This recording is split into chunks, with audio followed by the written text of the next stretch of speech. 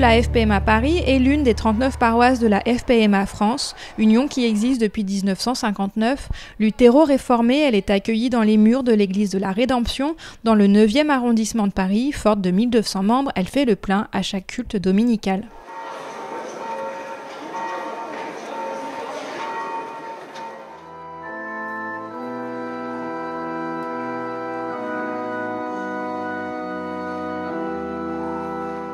La FPMA, c'est l'église protestante des Malgaches de France, indépendante de l'église d'origine. À Paris, les Malgaches qui souhaitent suivre un culte dans leur langue se retrouvent ainsi dans cette église de la rue Chauchat. On y conjugue donc culturel et spirituel.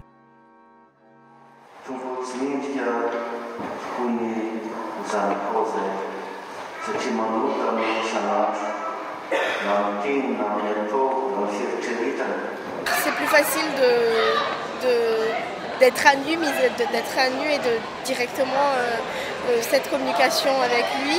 Euh, après, on peut toujours la langue ne reste pas une barrière, mais c'est vrai qu'il est plus aisé pour nous de communiquer avec Dieu par, rapport à la, langue malgache.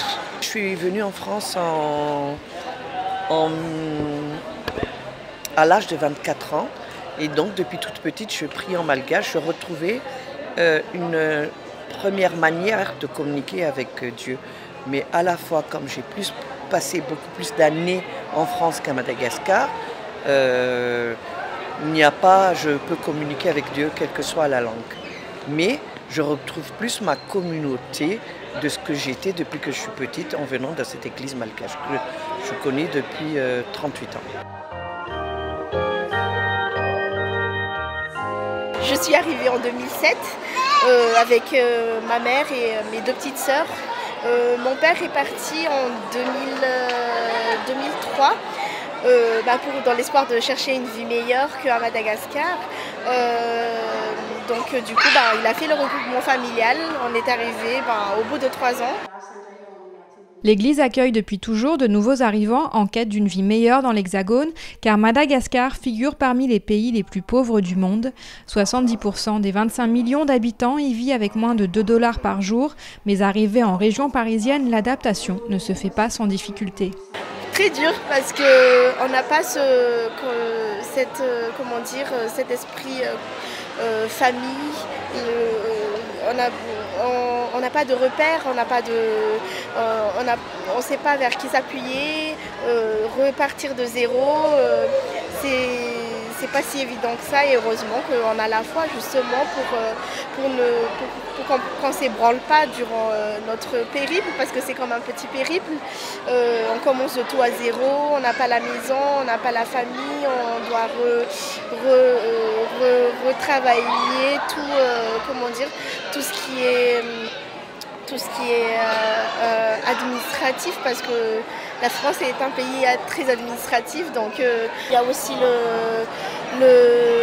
une branche dans l'église qui est justement bah, consacrée à ces, personnes qui viennent d'arriver de Madagascar pour nous montrer bah, toutes les étapes qu'on doit franchir, qui nous aident à faire les démarches. Dans les travées de l'église, portables et tablettes sont omniprésents. Pourquoi? Parce que le malgache ici, tout le monde ne le maîtrise pas, en particulier les nouvelles générations. Le culte est donc traduit en simultané via la web radio.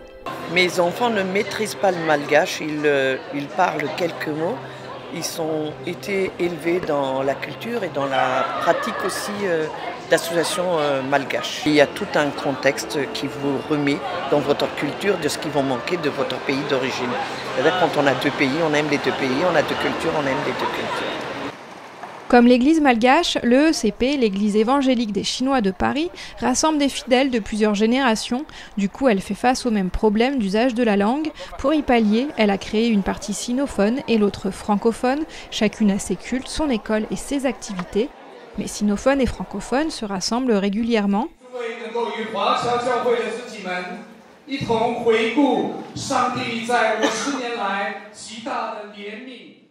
William Wang appartient à la partie sinophone. On est plus âgé en moyenne, euh, en moyenne on a quoi? On a à peu près 40, euh, euh, entre 40 à, en moyenne, entre 40 à 50 ans.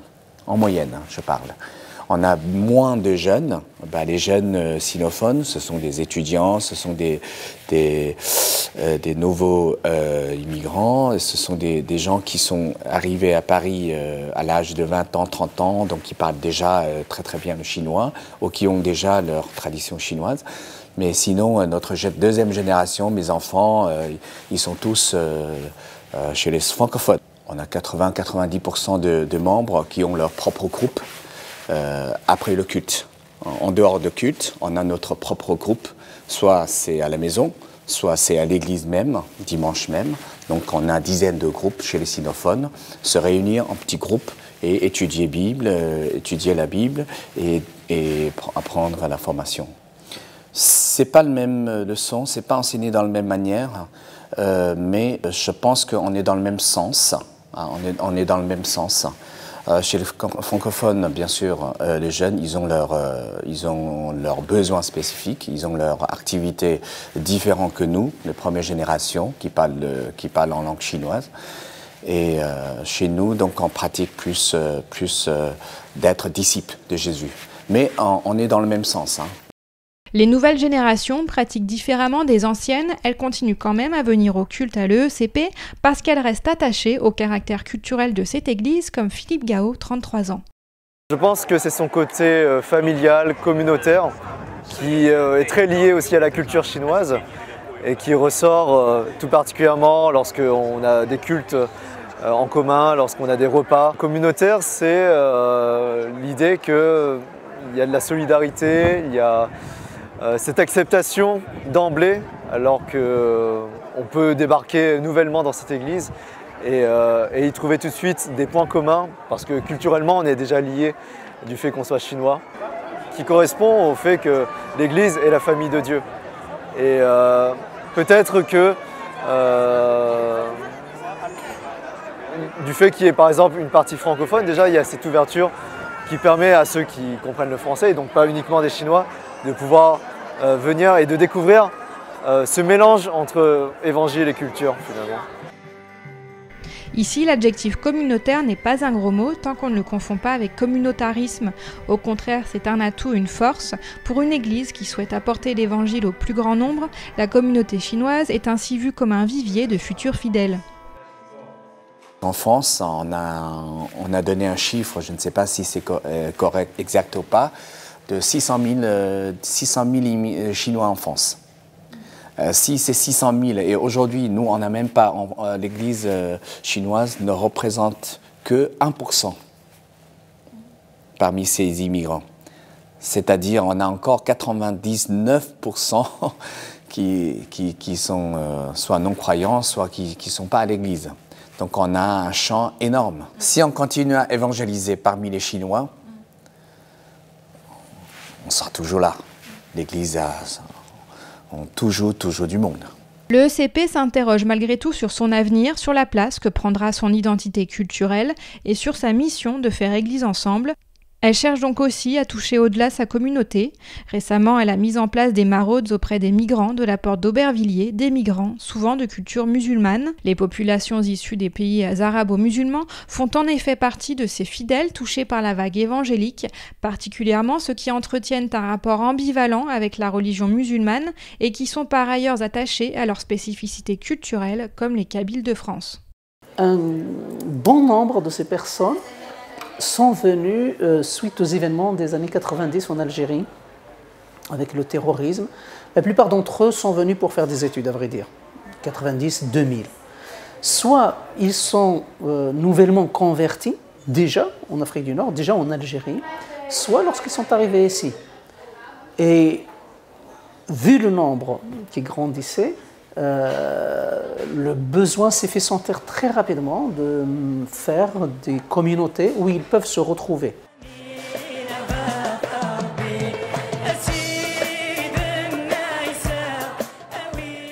Pour les Kabyles, la sensibilité évangélique permet de pouvoir enfin prier et chanter en amazir.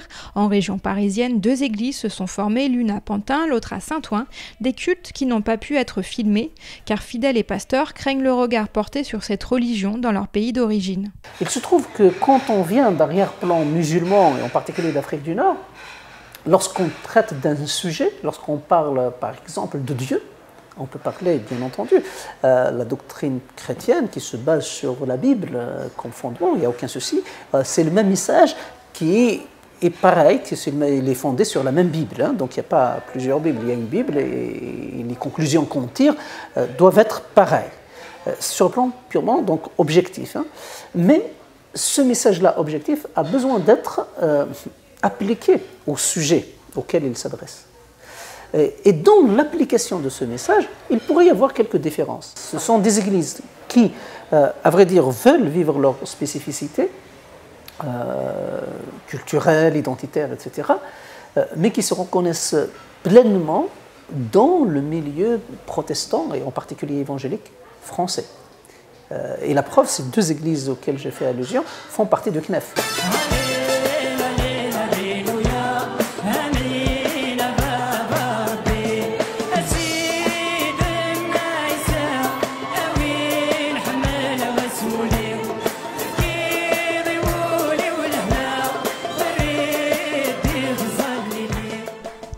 Comme les églises kabyles, les églises nées des migrations africaines sont assez réticentes à ouvrir leurs portes aux médias.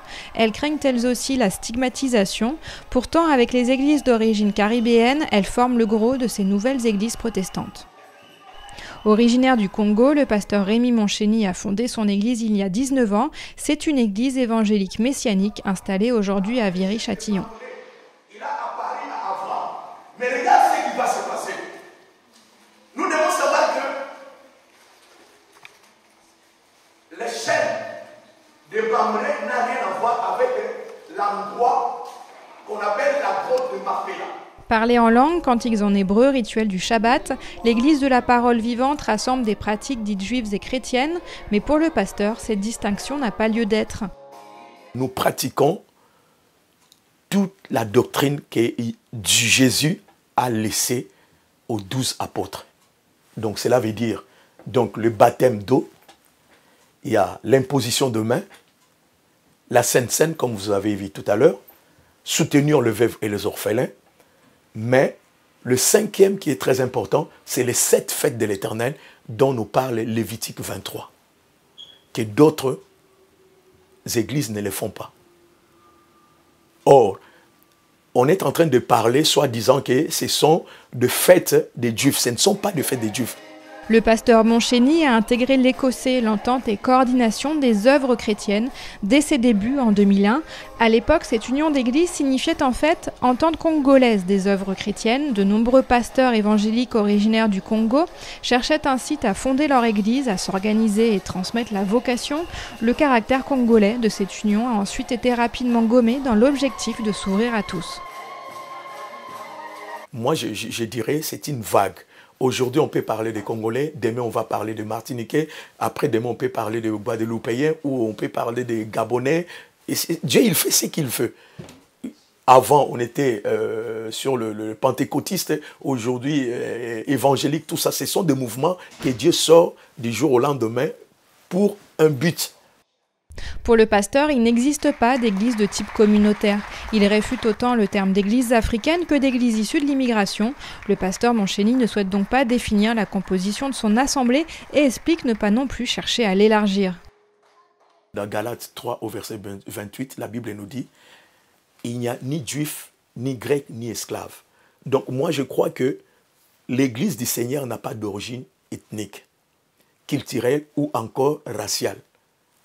Donc, il y a une connotation négative dans cette expression car elle vise à dévaloriser ce qui n'est pas d'origine française. Pourquoi? Parce qu'une église qui est composée de Français, des souches, n'a pas une plus grande valeur qu'une église qui est bâtie au village ou en Afrique. Nous, on ne peut rien faire. C'est le travail de Dieu, c'est ce que je suis en train de vous expliquer. C'est Dieu lui-même qui est en train de prendre. La Bible nous dit, quand ils mangeaient ensemble, ils partageaient ensemble, qu'est-ce qui s'est passé? Ce n'est pas l'homme qui allait chercher, c'est le Saint-Esprit qui ramenait les hommes dans l'église.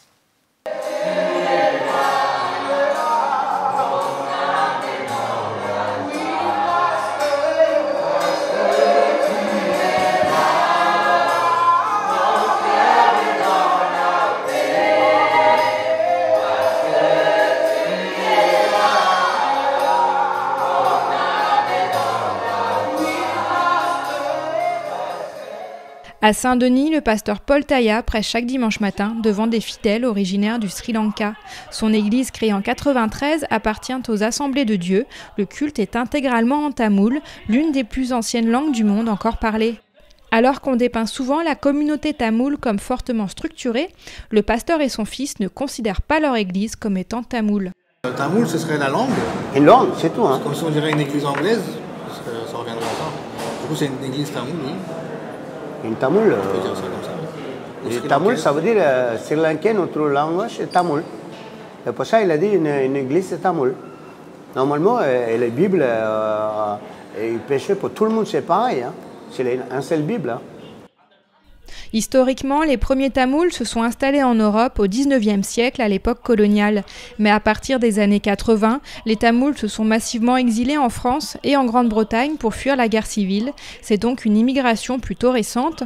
Et aujourd'hui encore, certains continuent de quitter leur pays en pleine crise politique. Je ne sais pas encore co- combien de temps on reste comme ça, nous, là, et parler tamoul. Ça veut dire, euh, c'est mon fils de 25 ans, ma fille il a 19 ans, et pardon, 16 ans, et il va bientôt, et il va partir euh, parler français, euh, et les culture, euh, euh, Assemblée of Dieu, de, comment ça s'appelle, l'église française. Parce que juste pour, pour moi, tu vois, pour le, un peu arrière, nous on ne parle pas français. Même moi aussi, je ne parle pas français bien. Euh, certains mots, il ne comprend pas, il ne comprend rien. Même il a euh, un peu des problèmes de langage. À cause de ça, nous on a fait euh, une culte tamoul. Après, encore 5 ans ou 10 ans, il a fini. Et ça veut dire qu'il est carrément, euh, il est, On n'a plus besoin de, de- de se restreindre à l'église tamoul. Maintenant, ce qui- la, la question qu'il faudrait se poser, c'est est-ce que ces, ces générations-là, est-ce que chez, euh, chez eux, quand ils auront des enfants, est-ce qu'ils vont parler tamoul Du coup, euh, est-ce que si on continue en tamoul, est-ce que ça va peut-être euh, poser problème ou il faudra peut-être changer en français? Tamoul, malgache, chinois, kabyle, il est plus facile de démarrer une église avec des compatriotes. Cela répond aussi souvent à un besoin immédiat.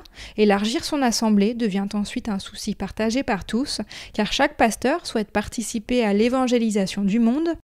Mais les relations complexes entre religions et cultures au pluriel sont rarement prises en compte, voire niées, dans un souci premier d'affirmer que la foi se suffit à elle-même.